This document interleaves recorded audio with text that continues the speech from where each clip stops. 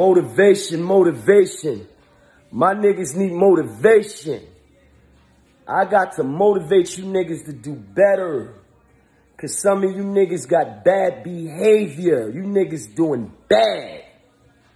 Some of you niggas got the audacity to sit around and have the nerve enough to talk and have opinions and create forums and rooms to express opinions about niggas that you don't even know. Niggas you couldn't even stand next to. Niggas you couldn't even tie their sneaker. You niggas got the nerve, the audacity to not even be doing well enough in life, to not even be able to conquer your own dreams and your own demons, to have opinions on niggas you couldn't even stand next to.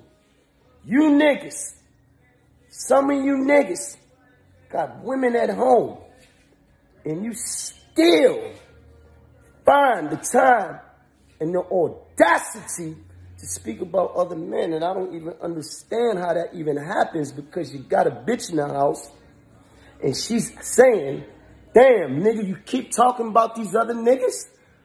You won't even fuck me, but you got time to be talking about niggas?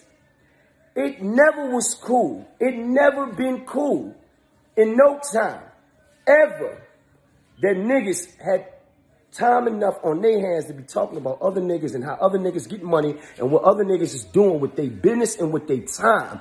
When has that ever been cool? What you niggas need to be doing is spending more time correcting your own shit Instead of gossiping about things that's not even true, gossiping with niggas that can't even come outside, and gossiping about things that you niggas is not even going to be a part of.